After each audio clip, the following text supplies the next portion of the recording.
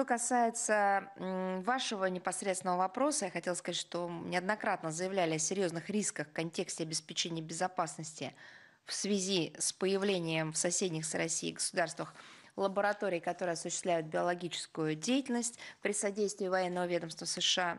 Размещение таких э, биолабораторий непосредственно вблизи наших границ э, связано со стремлением обеспечить сбор, вывоз в США штаммов опасных микроорганизмов – Э, которые являются специфическими для региона, которые имеют природные очаги и способны передаваться человеку, изучение биоматериала местного населения, а также на основании этих данных проведение научно-исследовательских работ в отношении потенциальных агентов биологического оружия, которые воздействуют на определенные этнические группы.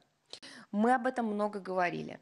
И мало того, мы требовали предоставить возможность посещения этих лабораторий специалистами для изучения и ознакомления с их деятельностью.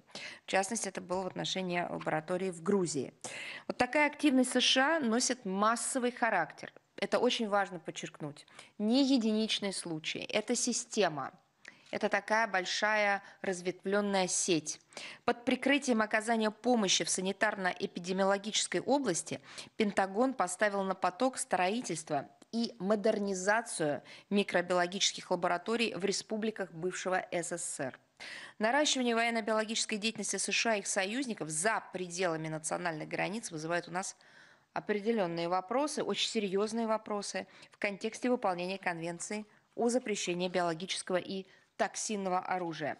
Ввиду отсутствия верификационного механизма в рамках э, конвенции, э, а я напомню, что разработку вот этого механизма блокируют Соединенные Штаты Америки.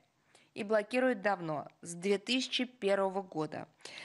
Э, так вот, так как нету такого верификационного проверочного механизма в конвенции, проконтролировать порядок и степень вовлечения таких объектов в закрытые исследовательские программы американского военного ведомства не представляется возможным.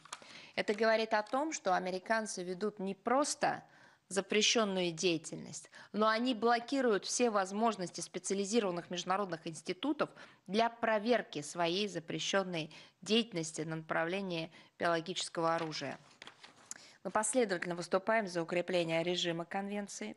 В частности, мы предлагаем возобновить работу над юридически обязывающим протоколом конвенции с эффективным механизмом проверки и включить отчетность, ежегодно передаваемую государствами, участниками конвенции, в рамках мер доверия, информацию о ведущейся за рубежом военно-биологической деятельности. Но еще раз хотел бы подчеркнуть, Соединенные Штаты Америки от предоставления таких сведений отказываются.